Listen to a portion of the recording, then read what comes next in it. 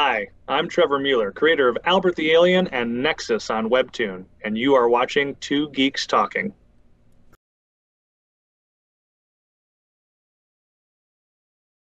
Good morning, afternoon, evening, everyone. Two Geeks Talking is an entertainment industry interview show where we interview the creative people from the comic, film, TV, movie, and video game industries. And of course, I'm your host, Kurt Sasso. We're joined today by, I believe this is going to be a sixth time on the show, something along that line. I've known him since C2E2 2010. It's that long ago, where I met Russell Lissau as well, in a line to get tickets for the press portion of what I ended up doing for video interviews. That being said, this talented individual has created Albert the Alien. He has also created a lot of other comics and young adult novels, and he has a brand new comic coming out on Webtoon called Nexus. We are joined today by the ever talented Trevor Mueller. How are you doing today, Trev?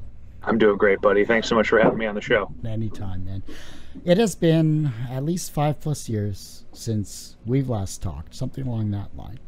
Uh, a lot has changed in your life, uh, creatively as well as family wise. And other than this brand new project you have coming out called Nexus, how have you been? Good.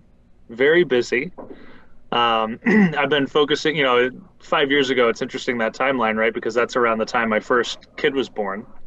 Uh, and so obviously that, that eats up a chunk of time. Um, I've got two now, two little ones. Um, and then, uh, you know, just the, the comic book stuff has been keeping us busy. And I mean, Albert, Albert, we worked on that book for six years, Gabe and I produced four graphic novels, got nominated for two Harvey Awards, um, over 800 pages of content uh, we made for that series. And then uh, when we when we ended that series, we ended up uh, just trying to see what other kind of projects would we want to work on. Gabe had started working on a couple of things for Oni Press with some other writers. He started working on a project with one of the executive producers of Family Guy. Nice. Um, but it's nothing like Family Guy, right? like it's a very gritty kind of Western story and in a very different art style than what he drew Albert in. So it was a creative challenge for him. and so I was hunting around for other artists and, and creators to work with and decided to just kind of say, you know, let's do a spaghetti tactic here. Let's let's throw spaghetti at the wall and see what sticks. And let's just pitch a whole bunch of people that I've never worked with, a bunch of different projects and just see what they like, what they want to work on. Um, and so because of that, I started, kind of started working on about seven or eight different graphic novel projects mm-hmm. um, that have been in various stages of production for the last five years. Um, most of which will be done next year, and we'll probably start to kind of parse them out either with Kickstarters or uh, with publisher pitches. Uh, and then I've also been mingling with a lot of the editors over at Webtoon, and I've been pitching them for the last several years as well because I love the platform. I love the stories that they have on there, and I love the opportunity that the vertical scroll storytelling yeah. allows you to do because um, it's quite different from the printed page. So it's it's been a very eventful five years, uh, even though it probably seems a little silent um, since I haven't been on the show. But um, you know, it's it's a lot of stuff going on in the background, um, and a lot of stuff that people will finally get a chance to see um, probably a little bit this year, but certainly next year. Well, you've always had a lot of irons in the fire, so to speak, when it comes to what you've done creatively. And that's what I've always been impressed by. Not only what you've created, what we get to see publicly, but, you know, you're, to put a better term to it, you're, you're always hustling for something. And you're always doing a, a amazing at what you do. And that's, that's why I love getting you back on the show because I know – you'll be able to come up with, hey, I want to talk about this, this, and this. And especially with webtoons specifically, because I've been reading a lot of online comics in like from Tapas and from a bunch of other amazing sites. So Korean um, Korean creators creating amazing comics, and it's like a, a reinvigoration of of the industry in mobile form, so to speak. And, and, and with Webtoon Originals too, right? Because Webtoon started off as a, as a Korean company, but mm-hmm. they have a U.S. editorial arm, and their their originals that they're producing are here from the U.S. from American creators. Um, you know, my a lot of my friends are actually on the platform, which is how I, I met some of the people that I'm working with. Because uh, Katie Cook has nothing special on there. Dean Haspiel has the Red Hook. Tom Zoller's had a series of of uh, one season stories that have appeared on there that he's collected into graphic novels. My buddy Justin Jordan has Urban Animal on there. Um, so there's a lot of people that are really using that platform not just for webcomic distribution on Webtoon's Canvas platform, right, which is their free, like anyone can upload to this. You know, it's it's just a platform to get your comic book story out there. Right. But then their originals is kind of their publishing arm, and so that's like where they get professionals to come in, and some of those originals are you know people like me who have pitched them a story idea uh, and they have accepted it and, and they're moving forward with it and we get paid to do it which is great. Uh, and then some of them too are just very very popular canvas stories that they have that they then pick up and they bring over onto the originals platform. And that's how some of their most popular stories right now have actually been picked up. Like Lore Olympus started off that way. Yeah. um, and i'm the grim reaper uh, and so they have just a really really unique model that very much caters to the fans and their readership numbers are phenomenal right? I mean they're averaging like 55 million i think it's i can't remember if it's daily or weekly active readers That's amazing. right? So it's it's amazing. And it's a free app. Like you can download it and just read stuff on there for free I, I signed up for an account so i'll definitely be downloading it for sure uh, it's it's great to see reinvigoration of of the talented people that have not only been on the show, but that we've run into in various circles throughout you know, our, our current life here. This model and the people you've been speaking with, uh, other creative talents, you know, has it improved their creativity? The fact that they now have a new format to go on, is it is it just the same old, or is it just finally a, this is something new? This is something like when webcomics first came out with that that kind of that push, that surge of of amazing creators. Yeah, you know, it's it's new, but it has sustainability, mm-hmm. right? It has a staying power on it because Webtoon has been overseas a lot longer than it's been here, and it's even more popular over in Southeast Asia than it is here, and it's all over the world. It's in Europe, it's it's in Latam, it's it's everywhere. Um, you know you can download a copy of the app and then some of the originals are actually localized so they'll they'll tap like southeast asia creators for some of the southeast asia originals and then if it's popular enough they'll translate it and they'll bring it over to other territories um, so those are those are things that they'll do to just kind of take those those universal stories right and it's, it's the same model that anime had back in the day right they're just really really interesting stories they're really fun um, you know characters and, and concepts and things that they have in there, and then they'll just bring them over uh, to other cultures and they, they translate, they, they work well. Nice. Um, Webtoon, I, I'd say from a creative perspective, is a really unique challenge. Um, because again, I'm used to writing for the printed page, and so there's a little bit of a formula and uh, and a rhythm that you get into when you're writing for print, where you know every odd number page, the page turn is like a cliffhanger or a question or something like that. And you can't really do that on Webtoon because unlike regular web comics where it's usually like a printed page that you just post up onto your website, Webtoon is a vertical scroll. It's a whole bunch of panels just kind of layered on top of each other. Mm. And you just like you're going through Facebook or a social media feed, like you just keep scrolling to get down to the bottom of it. And that makes the pacing quite different and the formula quite different. So from a creative perspective, it was a unique challenge to kind of figure out how do I tell a story in this way. The other thing that's unique about it too is that they uh, each of their installments are called episodes, and then they have so many episodes within a season they call it, and so each of those seasons will roughly translate to about a graphic novel's length, and so you're planning out, you know, an entire graphic novel from the get go in intricate detail as a part of the pro- pitch process. Um, and that was really kind of fun and interesting too, um, and very different. So again, just like a fun challenge to kind of to kind of um, put out there. And you know, our hope with with Nexus is that we would potentially get more than one season. Mm-hmm. Uh, we pitched it as as several. Um, but depending on where the numbers are, right? Like we've got a plan where if the numbers just aren't there and it's not supported, then we can end it at the, at the end of season one. Um, you just don't get all the fun little things that we're going to plan for, you know, seasons two and on.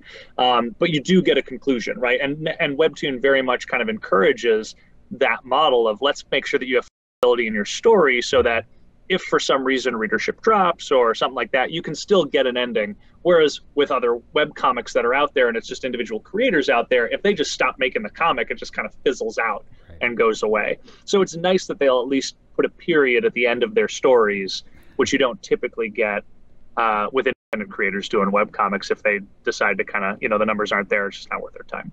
Let's talk about Nexus because this is something that you're obviously excited to tell the ma- the masses about. You're obviously um, have a great story. This is the sci sci-fi type genre that I don't think I've seen you do. At least when we've talked, it's never really you've never had a sci-fi in your back pocket that I've seen.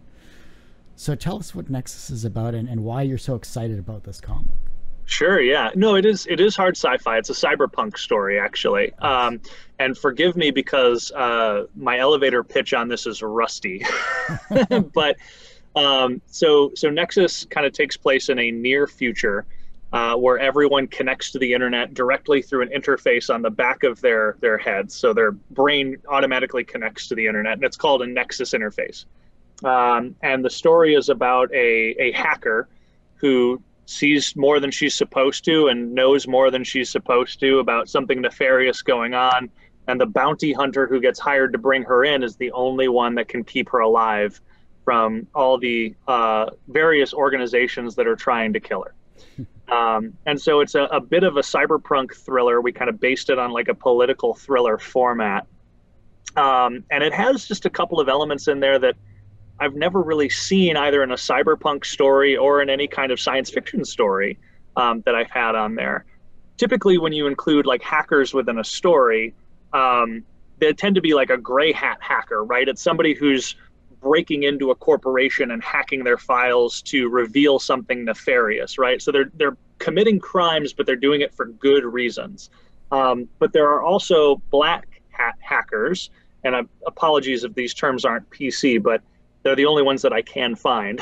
uh, so if anyone uh, has has actual more PC kind of terms for um, white, gray, and black hat hackers, please let me know. I would love to include that in the story. Um, but black hat hackers are the people that are committing crimes and doing it for bad reasons, right? So these are the ones that are putting ransomware on your computers, or they're trying to, you know, dox you, or they're trying to, uh, you know, post pictures that they've hacked off of your your phone on you and ransom back to you. And then there's white hat hackers. And so this is the part that I haven't really seen in any other entertainment there, which is white hat hackers are people who are good guy hackers that do good guy things for good guy reasons.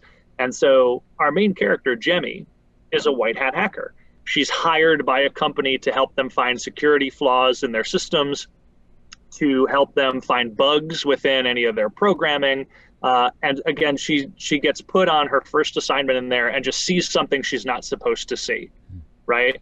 Uh, and ever ever since that happens, you know, she's being hunted by corrupt cops. She's being hunted by these uh, rival hackers that want to get the information that she knows. She's being hunted by this mysterious paramilitary organization, uh, and everyone's kind of out to get her.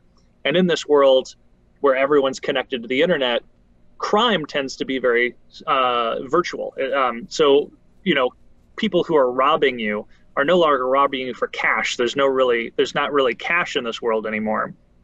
And so, uh, all the criminals are basically just cyber terrorists, right? like they're like hacking your bank account or they're stealing your identity and, and using it to open up fake accounts and stuff like that. And so the cops are overwhelmed. They can't they can't take all the cybercrime on themselves plus their jurisdiction is local. If i hack somebody in another state like that's a federal crime right? So we created these bounty hunters that essentially have jurisdiction everywhere over cybercrime. And so as somebody breaks the law uh, within the virtual space bounty hunters are brought in to kind of bring them out.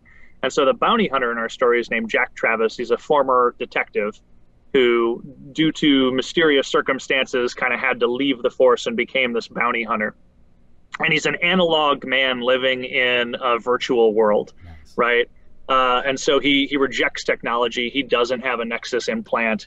in his neck. He doesn't want one. He still uses a phone, and everyone calls him old fashioned and retro you know and uh, but he's he's good with people he understands how to find where people are he understands how people think he knows how to to get the answers that he needs from from situations because he's been living in such a, a physical world his entire life. And he's an older guy right? He's probably in his late 30s early 40s and so as he kind of gets pulled into this web of intrigue that Jemmy has found herself in, he discovers that it ends up getting linked to some of the past um, you know crimes that he's had to to help bust or or some of the criminals that he's brought to justice back in his days when he was a detective. So everything kind of starts to link together in this web of conspiracy um, and it's just a really fun story to kind of to kind of play with and a really interesting world to kind of play in this has this been percolating in your mind for a while or is this something that you just you know, I've done educational, I've done young adult, you know, I need to get this story out. Yeah, uh, again, it's I was trying to look for something that hadn't been done before, and usually when I when I approach an artist, I always ask them, "What do you want to draw?" Uh, and and Sebastian uh, von Bockwald is the name of my my artist on this series.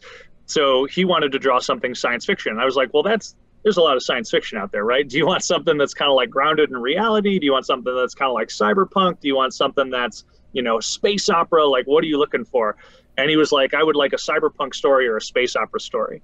So I pitched him two ideas, and he gravitated toward Nexus instantly because he's like, I can, I can, I can relate to these characters. I can, I can get a feel for the kind of world that you're building here, um, and it's a very visual kind of approach to storytelling.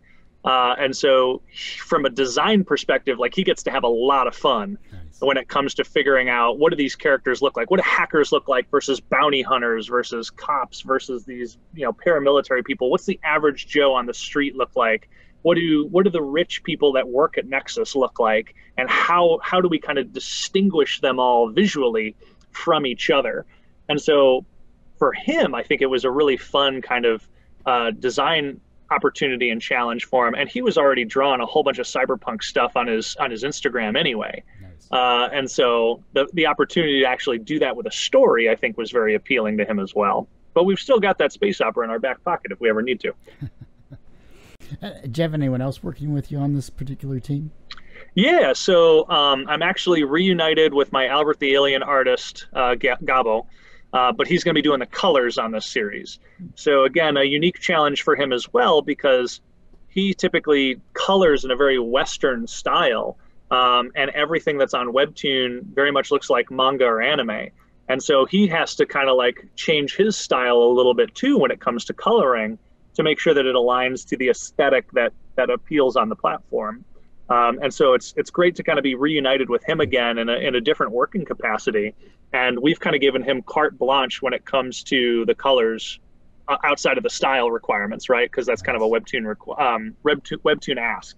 Um, but we, we're just kind of like, dude, if you want to give him a yellow jacket, if you want to give him like funky neon lights, like if you want to, you know, make those ripped jeans purple instead of instead of blue jean, like you have at it, man, have fun and so he's he's loving it because he's like i'm to add in like these glowing lights here and i'm to like he's just he's going at it with it and then um we also have uh, Micah Myers, who's going to be doing the letters for our series as well. And so Micah, you know, is is an accomplished letterer within the space that's written for name a publisher, right?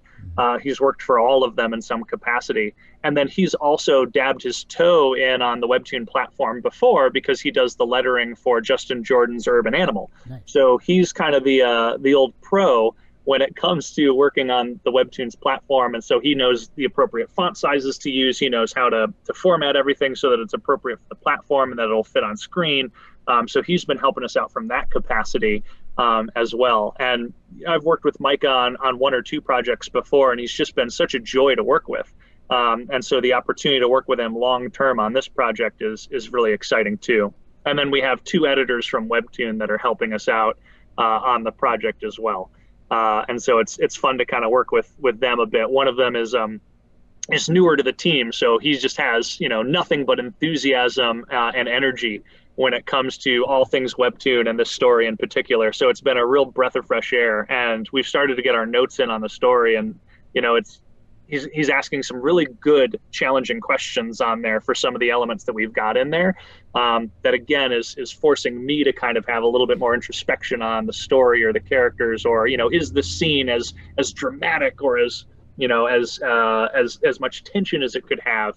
You know, how do we really kind of pack it all in, especially into those first few episodes that are so critical to kind of hook your readers. Mm-hmm. How do we really maximize the impact that we can have within that space? And so, again, uh, a bit of a veteran when it comes to uh, the platform, but again, bringing that fresh energy uh, into the story that that's always uh, encouraged and and something I appreciate. Introspection is always a good thing when it comes to being a creative person, uh, as you are. Uh, looking a little more into yourself, then, in one sentence, who are you? Oh man, we just got esoteric. Uh, uh, great question. I mean, I am a father, a marketer, and somebody who loves to tell a good story. Um, and honestly, sometimes those things all overlap into a single package because sometimes you got to sell your kids on doing something they don't want to do.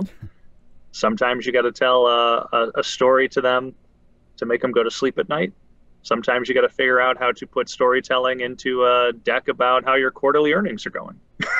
You know so it's i think all of these things kind of intersect and work together in a way that's uh, not always apparent in the beginning. But um, yeah father marketer storyteller that's me what could you pay more attention to in your life oh goodness what couldn't I pay more attention to in my life? Uh, you know, the home tends to get neglected a little bit every now and then. I could mow the lawn a little bit more frequently. Um, but my kids like the long grass, so it's not so bad. It's just the neighbors that give me dirty looks. You gonna mow that thing today? No, you because it's gonna rain tomorrow, and I mowed my lawn. So it'd be nice if our two lawns looked looked nice together. There was a period of time where I moved into my house. I'm not joking, where um, uh, one of the neighbors next to me the neighbor behind me and the neighbor on the other side of me, if one of us went outside to mow the lawn within five minutes, the rest of us would all be outside mowing our lawns as well. It became a competition. And then I realized that one of my neighbors is actually retired and all he does is mow his lawn. And I was like, I can't keep up with that. Now. What lessons in your life did you learn the hard way? Oh, man. Uh, so many lessons. Um, Uh, the one that I'll focus on, because honestly, it's it's very much related to Nexus, um, fatherhood, right? Like, I I wanted kids for the longest time. I wanted to have kids when I was much too young uh, to be having them, and thankfully did not. Right, I was responsible about it. Um, but being a father has changed so much about my perception of the world, the stories that I write, and the kind of stories I want to consume um, and the kind of stories I want to tell.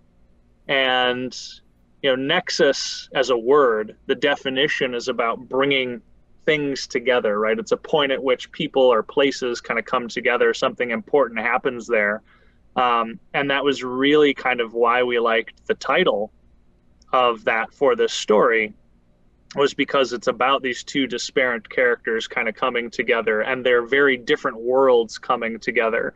And my life is very much like that with my kids. I have two daughters. Um, i never grew up with with sisters. My oldest daughter is the first girl born on my side of the family in three generations.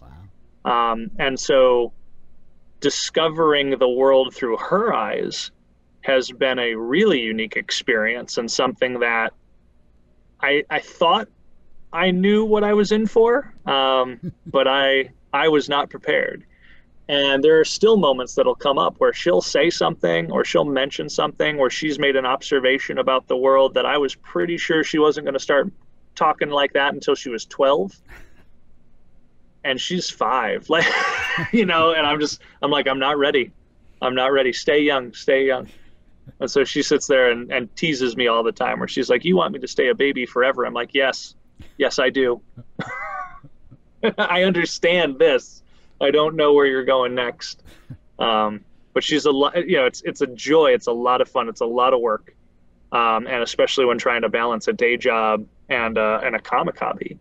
Um, but at the same time, it is it is so rewarding. I joke when I do like the panels when I talk about fatherhood, and I'm like, if you want people to not get pregnant, sit there and just start saying like, hey. You want to watch that movie this weekend? Too bad. You got a kid at home. You want to go mow the lawn right now? Too bad. Your kid is screaming for sandwiches. You want to watch that TV show that was on the other day before spoilers come out on the internet? Tough luck. You your kid wants to watch My Little Pony. Like, you know, it's you really don't have control of your own life anymore. And I think I'm going to paraphrase this. Kevin Smith in his latest movie where he did the Jay and Silent Bob reboot kind of touched on this the best where it's like you kind of become the superhero within your own story. You perpetually exist within your own second act. And the purpose of your second act is to make the first act for your kid as spectacular as you possibly can and to me that was just such a, a profound moment because that's what you're naturally doing as a as a as a parent anyway. You're trying to make you know your kids see the world and have morals and have you know ethics and have uh, the understanding of what's right and what's wrong. And you know why is it not okay to push your friend or pinch your sister when she steals your graham cracker? Um, but uh, but at the same time like it, it's a lot of work, but it's all so worth it. And when they, they just, you know, snuggle with you on the couch and give you an unsolicited, Daddy, I love you, you know, your heart just melts. So, what's my life like? What, uh, you know, again, who, who am I and, and how, how does all this package kind of come together and how is this influencing the stories I'm telling? It's that. It's that right there. I want to tell stories that my daughters can read with characters that they can look up to. Um, and that they can idolize. A lot to digest there. Welcome to my life.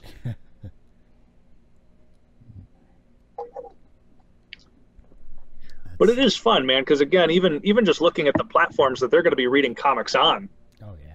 You know, we're adamant consumers of our library. They love books and they love comics even at their library. We've read like the Tiny Titans books and some of the My Little Pony books, and they were big into trolls for a hot second. Um, and so, what's the future of comics look like that they are going to be reading, right? Like Webtoons. Webtoons is a growth platform. Like that readership only continues to grow and expand with the popularity of titles like Lore Olympus um, and Let's Play. Um, and while those stories are a little old for where my girls are right now, um, there's just a lot of positive messages and a lot of um, diversity in characters that they can look up to within those stories. And so, again, I'm hoping that Nexus will be uh, a good addition to that kind of community of, of comics within the Webtoons uh, platform. Um, and something again that my girls will be able to to pick up when they're old enough to do so and and and read on that platform. So again, like that's that's the other thing that I kind of try to think about when I'm looking at where my story should be. Is it something I should see me self-publish? Is it something that I should pitch to a to a publisher? And if so, comic book or literary, um, and and or should it exist on the web? And again, this just feels like a really good fit uh, and something that's going to continue to to grow and provide opportunities and areas where my daughters will be able to read someday. When are we self improved enough to accept ourselves? Wow! All right, we're really getting uh, existential in some of these oh, questions. I gotta, I gotta switch it up with you because you know we we've talked so much in, about your career. Let's dive into the person. Sure. Well, uh, I don't think self improvement ever stops right? I think the day that you decide that you're good enough is the day that, you know, why, why live for tomorrow? Um, there's always something new to learn. There's always something new to experience. Um, you know, I had a really unique opportunity with my my previous day job where I actually got to travel all over the world.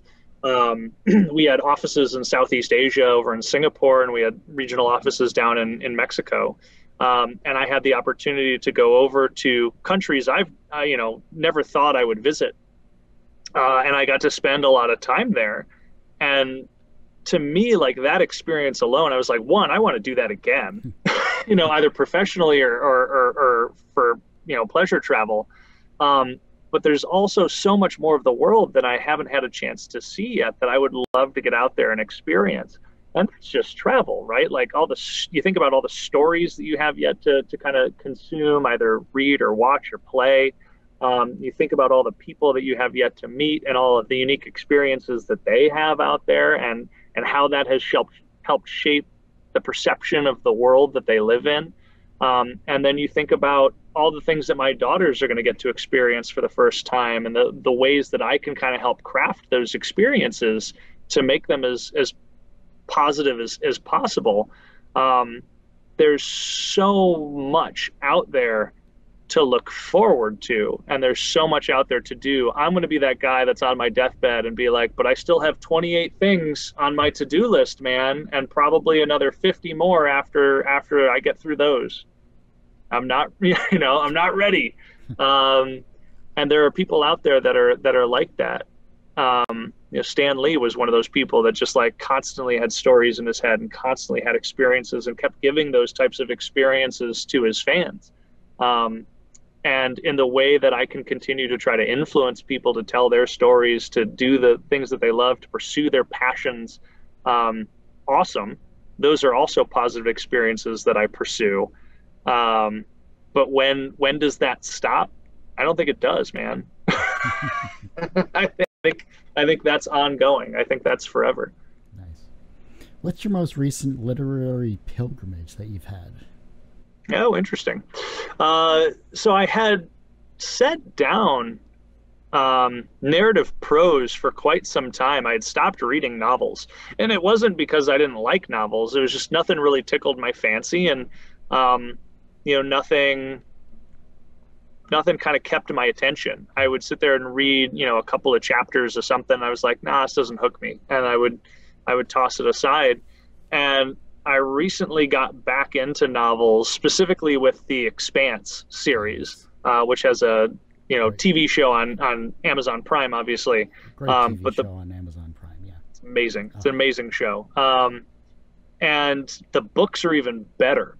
Uh, and they read like the show. I mean, it's just a very cinematic read, and it's it's a very interesting kind of narrative format that they have in there because every chapter is ten pages.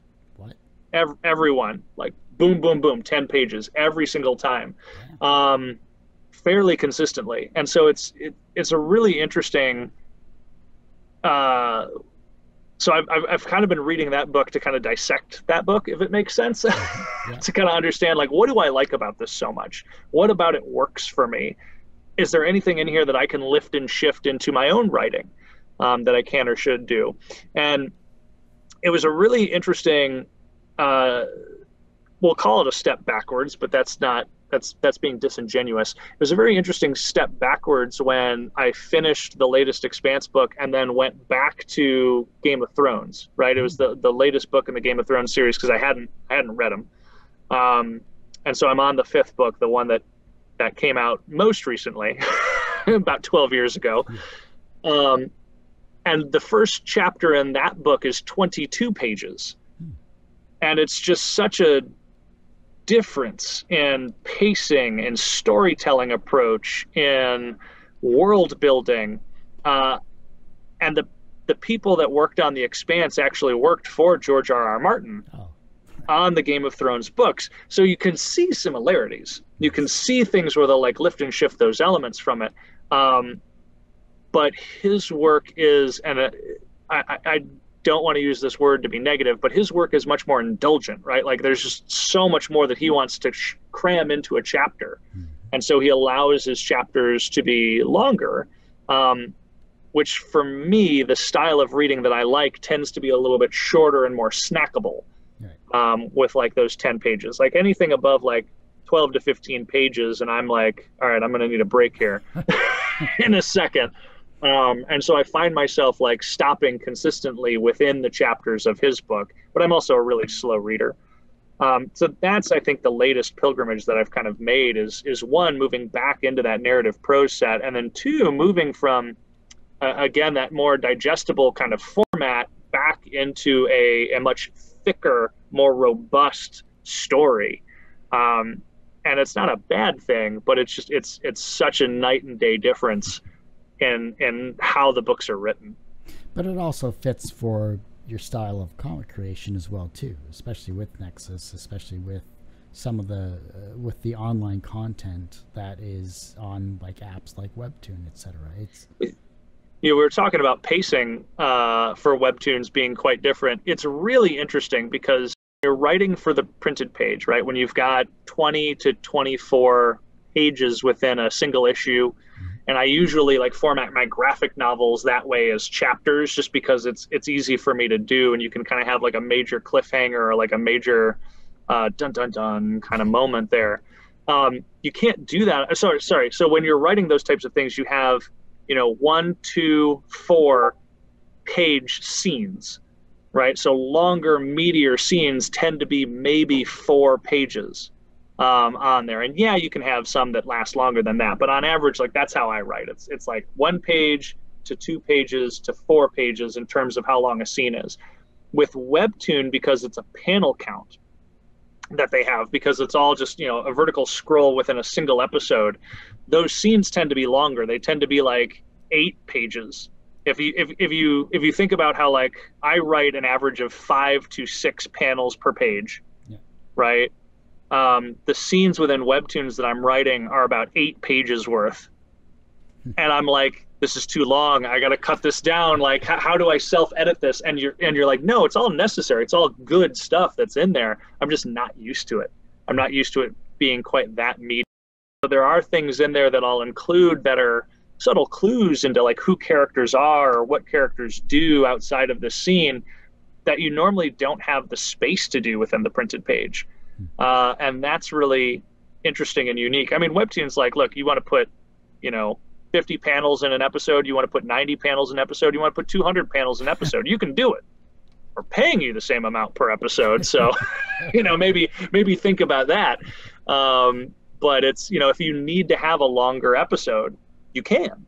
Um, versus like when you're doing the printed page, no man, you it's 20 to 24 pages. That's it, because it's got to fit within that page real estate Yeah.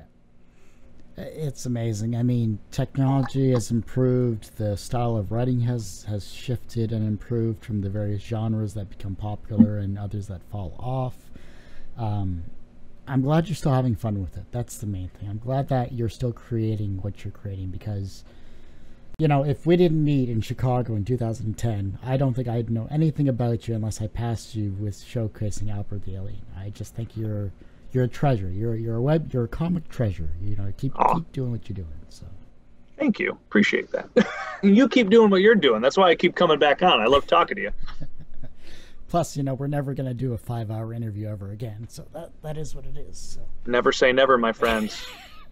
I don't know what you've got going on for the rest of your day, but I'm sitting next to a pizza and a thing of Chinese food, and I am ready to go. Uh, is there anything that I haven't asked you that you'd like to showcase to those that are watching and listening to this? Yeah, so for anyone who's interested uh, in print comics, uh, I do have an online store uh, that's doing a, a summer sale, uh, summer reading program sale. This uh, it'll be July 20 through 27, and then we're also going to be participating in Indie, in Indie Comic Creator Day on July 31st. So the same sale will apply uh, July 20 through 27 and on the 31st. 50% off all my graphic novels, uh, which includes all the Albert the Alien books. And we're going to be putting up uh, the preview edition bundles that were convention exclusive. It's a uh, six single issue previews of the new graphic novels that I'm working on, independent of the webtoon work that I'm doing, right? So we've got, you know, Witches of Eastwick Boulevard on there, which is an urban fantasy about two sisters that think they're superheroes, but it turns out they're the descendants of witches from the Salem witch trials. Uh, we've got, uh, you know, Los Ojos we're reprinting because we're going to do that as a series. It's a, you know, supernatural action story about a contract killer born with an ability. When he looks people in the eyes, he doesn't see them as human. He sees them as angels or demons. So that was a convention exclusive that we printed for 2020 and obviously we were in pandemic so everything went into lockdown and i only had a chance to premiere it at, at one show. I only have you know maybe a dozen of those left and so i'm going to put them back up for that week too um, available. Um, it's six comic books for 25 bucks. Uh, it's it's a pretty good deal. But the Albert the Alien books will be 50% off for that week only, um, and and and on July 31st as well. So if you guys like comic books, if you like graphic novels, if you want to see the Albert the Alien graphic novel that that Kurt's been talking about that got us nominated for two Harvey Awards, you know, buy two books for the price of one. you know, get the whole series. It's only four books uh, for the price of two, so it's it's pretty cheap. And again, it's to encourage people reading this summer, uh, especially kids that are um, you know on summer break, uh, so that they can get some good reading in.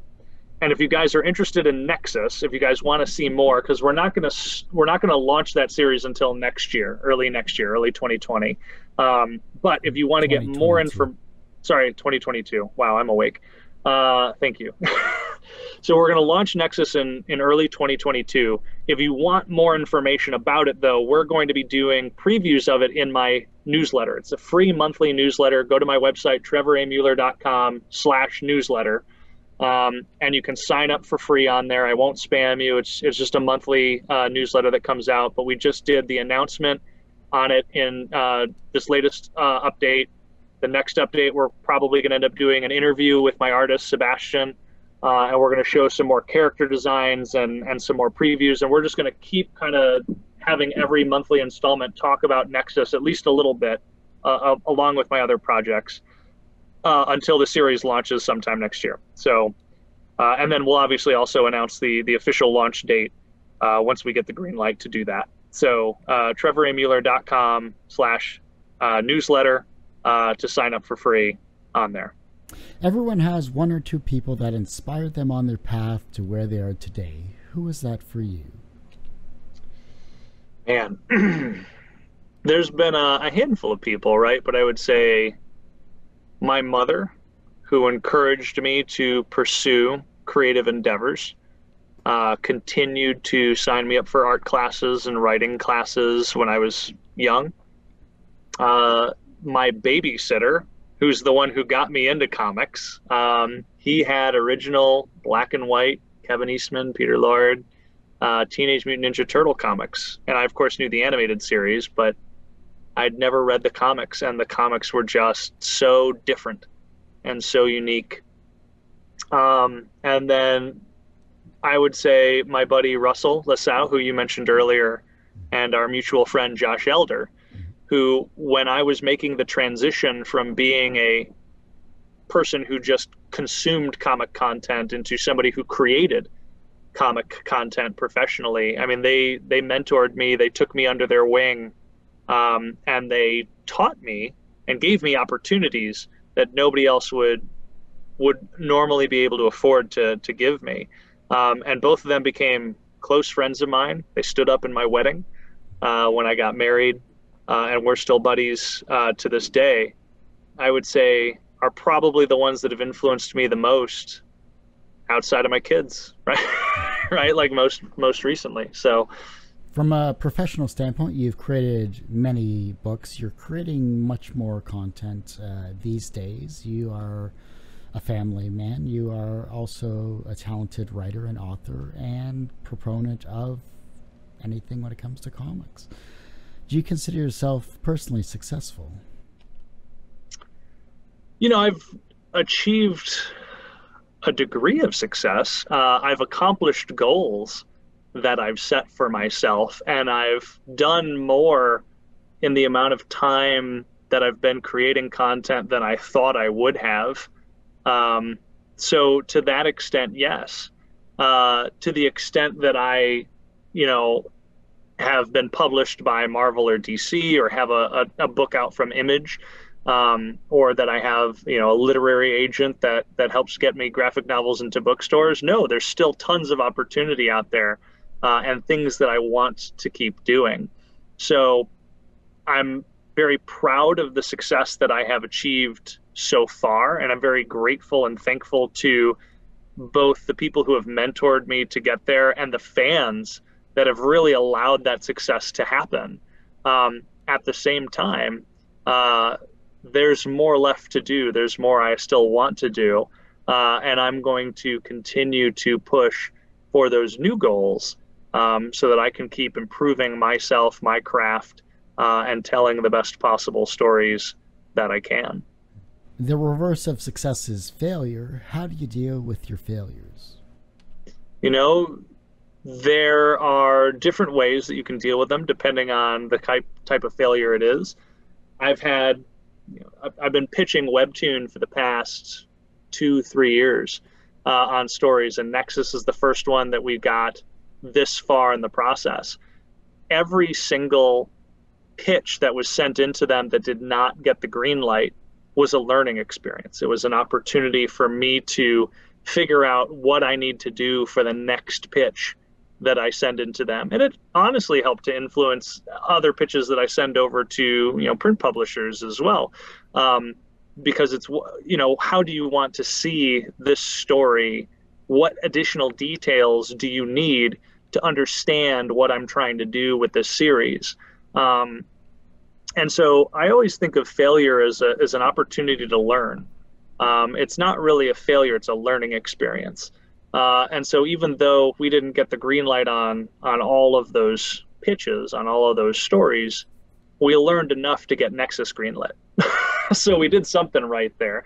Um, and then I still have these fantastic relationships with these artists that were attached to those projects.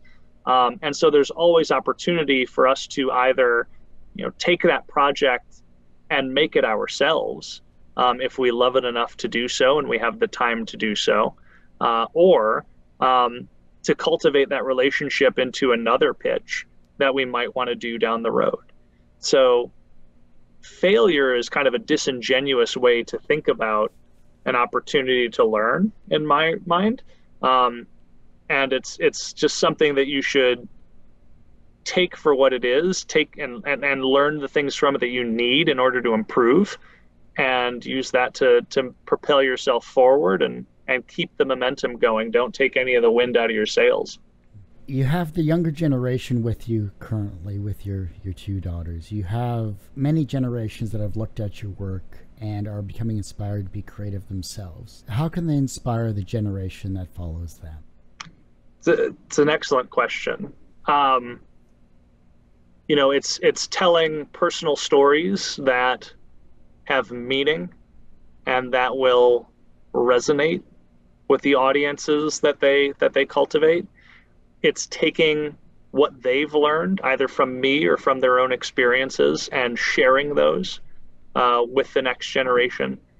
And it's inspiring and encouraging them to continue to follow their dreams, no matter how out of reach they may seem um, or how implausible they may appear. Um, you know, I, I think about all the panel rooms that I've sat in over the conventions that I've attended over the years and how many people that I've challenged to go out and, and make their story, to tell their story.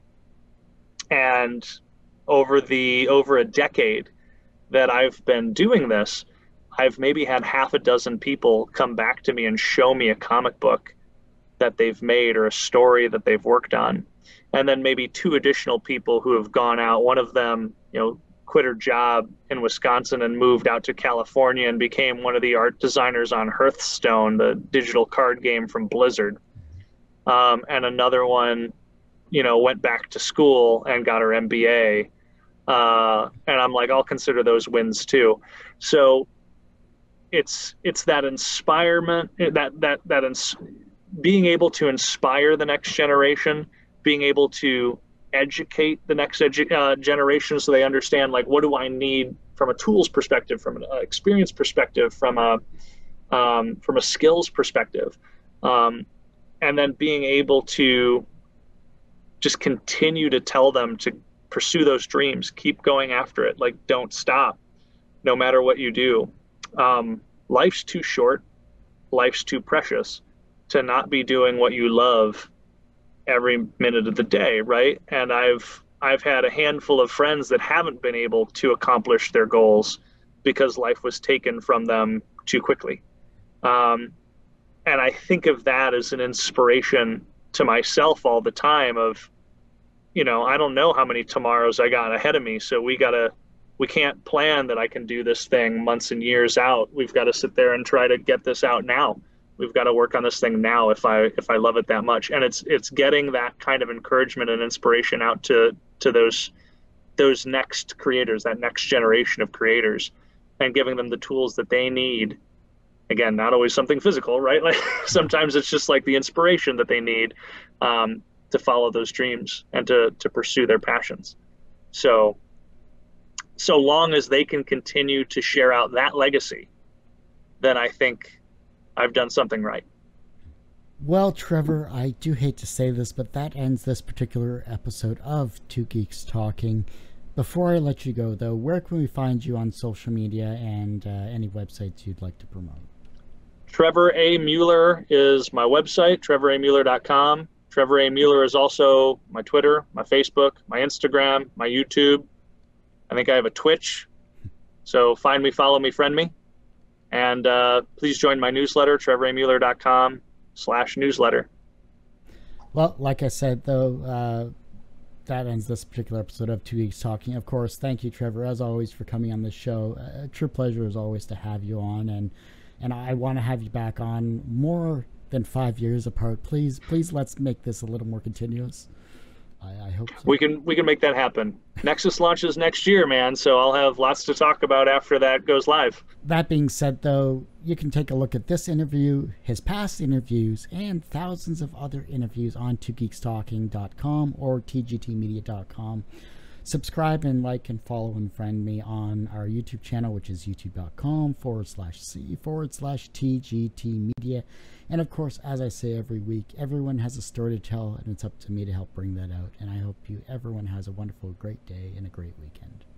Hey, all, Kurt Sasso here from Two Geeks Talking. If you like this video and these quick clips here, make sure you take a look at our YouTube channel, youtube.com forward slash TGT Media. Make sure you hit the likes button and subscribe as well. Hit the bell to make sure you get notifications, of course, from videos like this here. Uh, thank you, everyone, for listening and watching over the years, and keep listening and watching for new and exciting interviews with talented, and creative people in the entertainment industry. I'm your host, Kurt Sasso. Thank you so much.